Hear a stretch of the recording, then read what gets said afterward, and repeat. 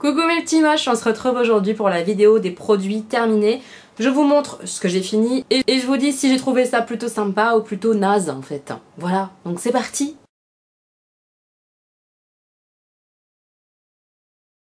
Alors je prends les produits au hasard clairement euh, pour gagner un peu de temps parce qu'il y en a beaucoup beaucoup, je suis désolée.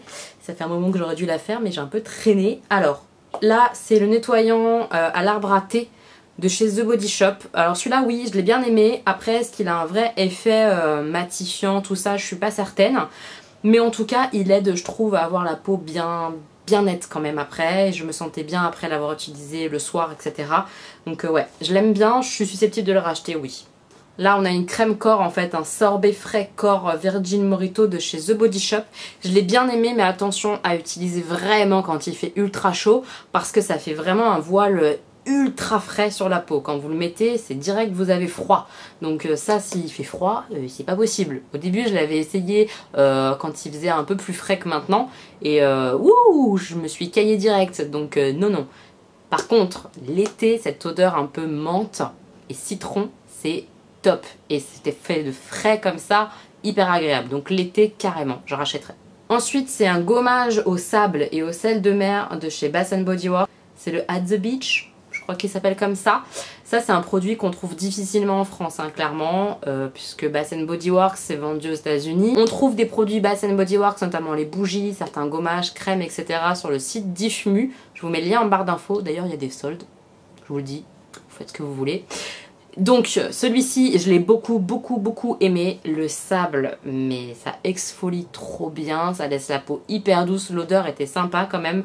Euh, ouais, ça faisait penser un peu à la plage, au sable et tout. C'était hyper sympa. J'ai beaucoup aimé. Si je le retrouve pas trop cher sur le site Bath Body Works et après que je me le fais relivrer en France, pourquoi pas? Ou même sur Diffumu pas trop cher, pourquoi pas? J'ai bien aimé. Ensuite, c'est un shampoing lustrant sans parabènes avec des huiles d'argan et de monoeil de la marque bain de terre. Alors ça, j'avais acheté sur euh, Beauté Privée. Ouais, je suis pas sûre que ça soit top top niveau compo. Euh, il y a du SLS, comme dans plein plein de shampoings que j'utilise, hein, de toute façon. J'ai envie de vous dire. Euh, je pense que c'est pas parfait au niveau de la compo. Maintenant, il faisait quand même bien le boulot, il avait bien les cheveux et effectivement, il avait un peu ce côté brillant sur le cheveu. Donc c'était sympa. Est-ce que je vais le racheter? Non, je pense pas. Voilà. Ça, c'est le gel douche qui va avec le gommage de Bath Body Works de tout à l'heure. Donc, c'est At The Beach toujours. Et c'est le gel moussant. Ça, je rachèterai pas. Et très honnêtement, tout ce qui est euh, gel douche, tout ça de chez Bath Body Works, c'est sympa au niveau des odeurs et tout. Mais c'est pas non plus euh, à casser trois pattes et un canard.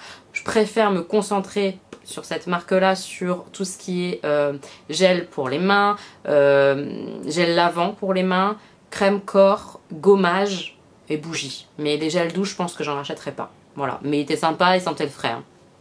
Après, j'ai terminé cette euh, eau micellaire de chez Barbara Gould qui est bio, euh, certifiée visage et yeux. Je l'ai beaucoup beaucoup aimé, je l'avais eu en promo, alors je sais plus si c'était chez Leclerc ou chez Carrefour, mais je l'avais eu en promo et je l'ai adoré, vraiment. Euh, en plus c'était bio donc ça c'est chouette, c'était pas très cher. Ça oui, je pense que je pourrais le racheter si je le revois en promo ou pas trop cher, je le reprendrai très facilement. Vous savez que j'aime les déodorants qui pchit. Voilà, j'aime pas les trucs à billes, j'aime pas du tout. Donc voilà, c'est le petit Marseillais, déodorant extra doux vanille, anti-trace sans sel d'aluminium, parfum longue durée.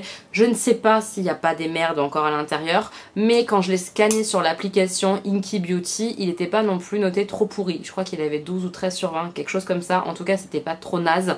Donc euh, oui, les petits Marseillais, je les reprends. C'est ceux que je prends et je les aime bien. J'ai fini mon shampoing chouchou de tous les temps, c'est le Daddy O, euh, les fleurs du mal, je sais plus comment il s'appelle sur le site français. En fait c'est le shampoing qui est violet, euh, pour les cheveux blonds, les cheveux gris, qui redonne un peu d'éclat et tout ça. Moi je l'aime bien, j'essaye de pas l'utiliser tout le temps parce que j'ai l'impression que mes cheveux s'habituent sinon. Je sais pas si c'est dans ma tête ou pas, mais... Euh, donc voilà, je l'aime beaucoup, je l'ai déjà racheté et je le rachète tout le temps. Il est top. Et au niveau de l'odeur, en fait, il sent la violette. Oh, j'adore cette odeur, un peu comme les bonbons à la violette. J'adore ça. Voilà. J'ai fini mon démaquillant, c'est le super démaquillant yeux waterproof de chez Sephora, c'est un biphasé. Celui-là j'utilise pour les yeux uniquement et euh, il est trop trop bien, ça permet de pas trop frotter sur les cils quand vous mettez même euh, du mascara waterproof etc. Je vous le recommande, c'est pas très très cher, c'est très bien. De chez Postcam, hop, euh, c'est une crème, alors c'est écrit tout en anglais, ça va pas être facile. Essential Care Moisturizing Crème. En gros, c'est un gros pot comme ça de crème qui était euh, pour les peaux mixtes. Voilà, j'ai tout fini. Et euh, je l'utilisais moi euh, le soir. Le soir en grosse couche bien épaisse pour faire masque. moi ça me suffisait complètement au niveau de l'hydratation. C'était vraiment adapté aux peaux mixtes à grasse. Faut pas non plus que ça soit trop trop riche, que ça soit huileux. C'est pas très agréable pour les peaux qui sont très grasses mais ça hydrate bien et j'ai vraiment beaucoup aimé. Je l'avais acheté sur euh, vente privée. Euh, en vente privée, je suis susceptible de le racheter, oui. J'ai terminé un Lécor de chez Yves Rocher, je l'avais eu dans mon swap et Pépette m'en a redonné un parce qu'au final elle l'utilise pas, il y a trop de mauvaises compos, ça lui fait des réactions, etc. Euh, c'est un Lécor poire caramel. J'adore, j'adore l'odeur, ça, mais c'était top. J'ai trop hâte de le réutiliser puisque j'en ai un deuxième du coup.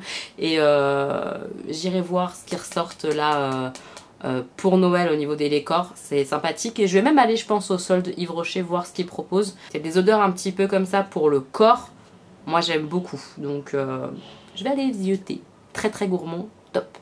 Les garçons ont terminé ça, c'est de la marque Nature et moi, à l'extrait de figues bio de Provence, non testé sur les animaux, etc. Donc ça j'aime bien. Euh, c'était à la figue et ils ont bien bien aimé. Euh, c'est pas parfait au niveau de la marque, ils ont un nom c'est euh, très bio tout ça alors que c'est pas bio. Nature et moi, t'as l'impression que c'est hyper naturel, ça l'est pas à 100%, soyons très très clairs, il y a quand même des trucs pas top dedans. Mais c'est quand même un peu mieux que DOP par exemple, ou ce genre de choses. Et donc oui, je suis susceptible de le racheter, mais en connaissance de cause. Je sais que c'est pas parfait un produit maquillage, c'est rare que j'en termine. Euh, donc ça c'est le concealer de chez Makeup Revolution, je vous l'ai présenté dans une vidéo, je vous la mettrai juste ici. Je l'aime beaucoup, mais alors qu'est-ce qui se termine vite? C'est incroyable. Alors je sais pas s'il reste du produit par exemple sur les parois mais que j'arrive pas à le choper ou quoi, mais j'arrive plus à choper de matière, donc c'est un peu embêtant, il m'a pas duré longtemps. Hein. Trois mois peut-être, quelque chose comme ça. C'est un peu dommage, mais il est tellement pas cher que je lui pardonne son manque de contenu. Voilà, je l'aime bien. On va continuer avec le maquillage. J'ai terminé mon liner Miss Rose. Là encore, on a fait une vidéo avec mon mari. Si vous l'avez pas vu, elle est juste ici. C'est assez drôle, mais au moins ça vous montre que c'est vraiment sympa comme produit. Je l'aime beaucoup, il est très très noir. J'utilise de moins en moins moi l'embout euh, tampon parce que j'arrive je pense de mieux en mieux à faire mes queues de liner. Euh, mais il m'a beaucoup aidé au début. Vraiment, vraiment, il m'a beaucoup aidé et je le trouve toujours top parce qu'il est hyper noir, qu'il bouge pas, que si vous pleurez, qu'il y a du vent ou n'importe, il ne bouge pas, il coule pas. Je l'adore. Ensuite, j'ai terminé un autre liner parce qu'il n'est pas terrible. C'est le Sormet Précision Duo. Euh, ça, c'est une marque que j'avais reçue dans une box. Il y avait un espèce d'embout côté effaceur et un embout noir.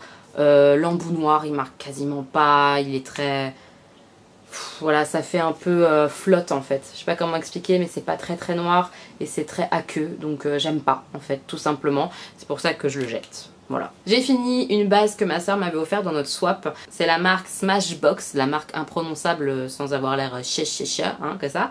Euh, c'est la Photo Finish unificateur de teint avec l'espèce de pigment vert pour euh, quand vous avez des rougeurs. Et je crois qu'elle n'existe plus quand j'avais regardé, je l'ai pas retrouvée. Franchement, je l'ai bien aimé, c'était sympathique. Un peu trop huileux pour les peaux euh, grasses comme la mienne, mais c'était sympa quand même de tester et j'ai bien aimé. J'ai terminé ce petit truc de chez Essence Express Dry Drops. En fait, c'est simplement à mettre euh, sur vos ongles. Une fois que vous avez tout terminé, vous avez mis votre top coat, tout ça, vous mettez une petite goutte comme ça sur chaque ongle et ça permet de sécher un peu plus vite le vernis. Moi j'aime bien, j'en ai d'avance et ça oui je rachète. J'ai pas terminé mais je jette ce Egg Pore. Je vous en ai parlé dans ma vidéo avec Karine Top et Flop, je vous la mets juste ici. C'est une base visage que j'ai pas terminée, que je déteste en fait. J'aime bien l'odeur parce qu'elle avait une odeur un peu citronnée, mais alors c'est de la pâte à modeler en fait. On se met de la pâte à modeler sur le visage. Alors forcément, ça bouche les pores, etc. Donc c'est un aspect très lissant, mais ça dure pas en fait. Dans le temps, le visage graisse et ça coule, ça dégouline, on revoit les pores encore plus qu'avant. J'ai pas du tout aimé ce truc de chez Tony Moly, je suis hyper déçue. Un autre liner qui a un embout, euh, un embout tampon cœur et un liner normal, c'est de la marque Starlook Pro. Euh, Lux Pen Artist Edition et là encore le liner euh, c'est pas très ça quoi hein ça fait des choses euh, pas nettes en fait. Euh, il n'est pas ultra noir et ça fait plutôt grisâtre, un peu flotte. Et en plus, il file. Voilà, il file donc pas du tout exploitable à mon sens, donc je le jette. J'ai fini le Groovy Mango Shampoo, donc c'est un shampoing de la marque A Mountain Cosmetics. Je vous en ai déjà parlé dans mon swap avec Pépette, c'est une marque euh, qui fait pas mal de produits, euh, soit végétariens, soit vegan, euh, qui teste pas sur les animaux et avec des très bonnes compos. Maintenant, voilà, le shampoing la mangue, il était pas mal, mais ça mousse pas, c'est dur, c'est dur pour moi quand ça mousse pas les produits, et ceux-là ils moussent pas, ils ont du mal en plus à sortir, l'emballage il est hyper dur, donc pour appuyer dessus comme ça là, c'est hyper compliqué à faire sortir, je suis pas fan quoi, des, emballages, tout ça. Je, sais pas si je rachèterais, je pense pas. J'ai terminé deux eaux comme ça de chez Christian Lénard, l'eau de tiaré et l'eau de fleur d'oranger. Euh, ces deux-là, je les aime bien. Même l'odeur, je les aime beaucoup. J'utilise ça euh, le matin et le soir avant de mettre d'autres crèmes, etc. C'est au réveil ou avant de me coucher, bim, je mets ça et après je mets mes autres crèmes. J'adore ça, j'adore, j'adore. Surtout celle de fleur d'oranger, elles sont tellement bon. Et même celle-ci, l'eau de tiaré, elle est agréable quand même. Donc euh, ça, je rachète, c'est sûr. J'ai fini cette crème bio euh, de la marque LC Bio Gourmandise aux fruits rouges, soin hydratant pour le corps. Alors oui, ça hydrate, mais alors la gourmandise, je la cherche encore. Et j'ai pas aimé du tout, du tout, du tout. Ça hydrate, mais il n'y a pas d'odeur. Il y a une odeur un peu euh, type euh, un peu crème solaire, même l'aspect ça fait blanc comme les crèmes solaires et tout. Oh, j'ai pas aimé, j'ai pas aimé, j'ai pas aimé. Donc même si c'est bio et tout, que c'est sûrement très bon, ça je vais pas racheter, c'est sûr. J'aime pas. J'ai fini cette chose de chez Hello Body, le Sunny Shine, euh, l'hydratant masque pour les cheveux. C'est juste en fait de l'huile de coco clairement à mettre sur les cheveux, donc euh, autant mettre une huile de coco bien moins chère plutôt que de mettre euh, un tel prix là-dedans. moi je l'avais acheté sur Beauté Privée quand c'était en promotion parce que je voulais tester les produits Hello Body et avoir un vrai avis dessus. mon avis c'est que c'est bien trop cher pour ce que c'est, donc je rachèterai pas. J'ai fini une crème pour les mains chez The Body Shop. Je les aime beaucoup. Celle-ci, c'est noix de coco. Autant vous dire que je suis archi fan. Voilà, j'adore. J'ai fini un shampoing et gel pour le corps de chez, euh, de chez A Mountain Cosmetics à nouveau. Celui-là, c'est celui qui sent le coton candy, donc en fait la barbe à papa. Et celui-là, j'aime beaucoup, beaucoup, beaucoup l'odeur. Je l'utilise pas en shampoing, je l'utilise pour le corps. C'est très très agréable. Celui-là par contre, oui, je pourrais le racheter parce que même s'il mousse pas, j'aime bien l'odeur. J'ai terminé mon feu des lèvres que ma pépette m'avait donné pour que je teste et j'adore cet exfoliant pour les lèvres. Donc ça oui je vais le racheter chez The Body Shop, que ce soit cette senteur ou une autre. J'ai adoré, vraiment ça fait vraiment les grains de sucre et tout pour frotter sur les lèvres. Oh, c'est trop bien et alors l'odeur magnifique. J'ai adoré, j'ai adoré. J'ai utilisé ce petit échantillon que j'avais reçu dans une glam bag. Euh, c'était un masque de nuit. Euh, j'ai rien trouvé d'exceptionnel. Il m'a hydraté. Il a fait son job quoi. Il a hydraté un peu ma peau. Très très bien. Je vais pas chercher à tout prix à le retrouver. J'ai fini une de mes huiles d'arbre à thé. J'en ai racheté une cette fois-ci à la pharmacie puisque celle-ci c'est chez The Body Shop. Mais a priori à la pharmacie c'est un peu moins cher. Donc j'ai pris une huile essentielle bio à la pharmacie. Je vous en dirai de nouvelles quand je l'aurai terminé. Faut savoir que ce produit-là, je l'utilise en fait sur un petit coton-tige et je mets sur mes boutons. Ça leur permet de sécher plus vite et de disparaître du coup beaucoup beaucoup plus vite. C'est très très efficace. Je vous le recommande vraiment. Les garçons ont fini ce shampoing ultra doux à la pomme verte et au kiwi. Ils ont beaucoup aimé. C'est pas du tout parfait en termes de compo, c'est même de la merde mais je suis susceptible de racheter parce qu'ils aiment bien. Voilà. J'ai fini un Baptiste. Euh, je les aime bien les Baptistes. J'en ai racheté au promo Beauté Leclerc. C'est là que je les achète en fait. Je fais mon stock au promo Beauté Leclerc pour toute l'année.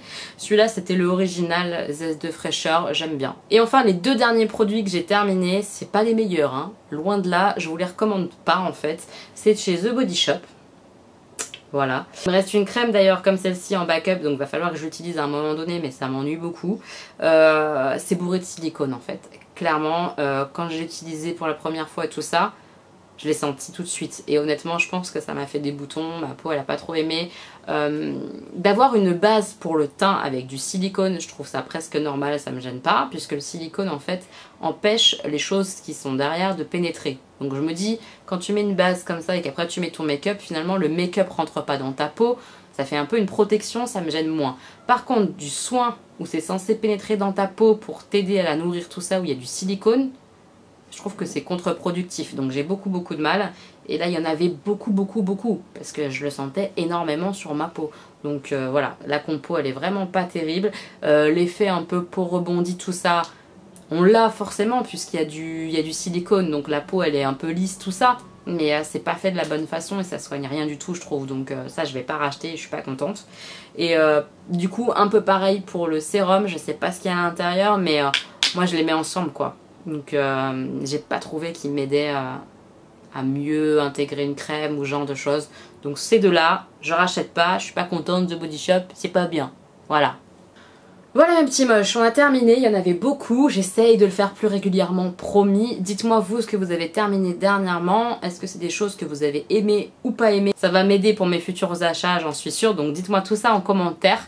Si vous, vous avez testé des produits que j'ai terminés, que vous avez aimés ou pas, donnez-moi votre avis aussi en commentaire, euh, c'est toujours sympa et ça aide les autres. Je vous fais plein de bisous mes petits moches, on se retrouve sur Instagram, n'hésitez pas à me rejoindre là-bas, c'est là-bas que je fais mes stories, tout ça. Je vous embrasse fort, à très bientôt.